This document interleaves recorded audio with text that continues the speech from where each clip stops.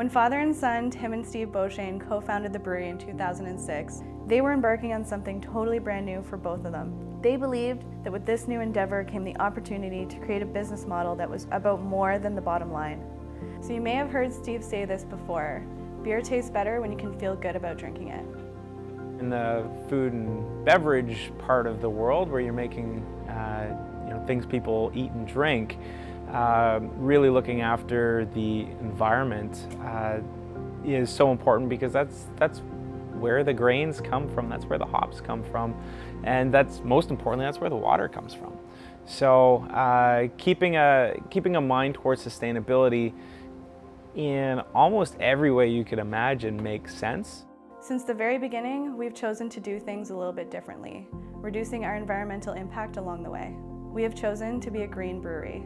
So there are several examples from our packaging, our distribution, and everything in between. We wash and reuse our signature 600 ml bottles. Our beer labels are printed on recycled paper, same with our posters, business cards, brochures, and four packs. Our organic spent grains go to local farmers for feed, and spent yeast and organic byproducts from the brewery are sent to a biodigester where they create energy to help run a local farm. Department to department, sustainability is a company-wide objective, and everyone works hard to reduce their individual environmental impact. By being at the, the leading edge instead of the trailing edge, we feel like um, when other, other breweries are going to be forced to do this, uh, we'll have been doing it for, for years and years and we'll, we'll know what we're doing. Our brewery is powered with green energy. We brew our beer with 100% green electricity and 100% green natural gas through our partnership with Bullfrog Power. So uh, our model is uh, what's called a notional model. So in fact, we're actually not uh, delivering that power to your home or to your business, but what we do is we aggregate demand in a marketplace and, and we then contract for that renewable energy with our suppliers that are across Canada. And then that renewable energy gets put onto the grid.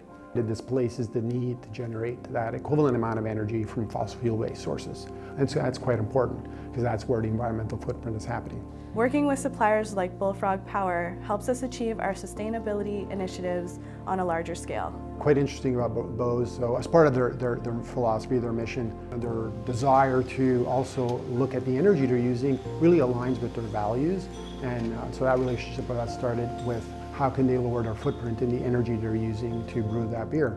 And, uh, and, not only did they come on board for a renewable electricity product, but they were the first craft brewer to also use our renewable natural gas.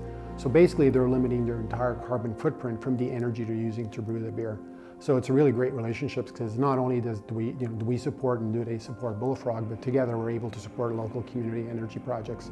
An example of our work with Bullfrog Power is the installation of solar panels at Just Food Farm. With this focus on being green, we've been recognized for the hard work we do.